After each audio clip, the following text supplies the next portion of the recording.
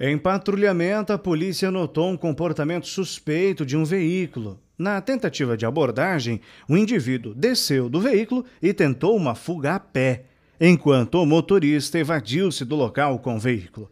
Em perseguição a pé, os policiais conseguiram interceptar o rapaz que estava em posse de uma peça de drogas. A equipe realizava patrulhamento ali, bloqueio na PR 562, né, na cidade de Coronel Vivida, quem vem ali sentido de Vista Alegre no momento que um veículo ali, ao se aproximar da viatura policial, é, parou às margens da rodovia, sendo que um masculino desceu a pé, empreendendo fuga ali em direção a uma mata.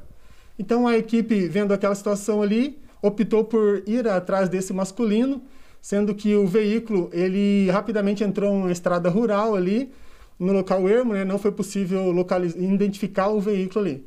Então, esse masculino foi acompanhado a pé ali por alguns metros, sendo realizada a abordagem e encontrado com ele aí esse tablete de substância análoga à cocaína. 534 gramas.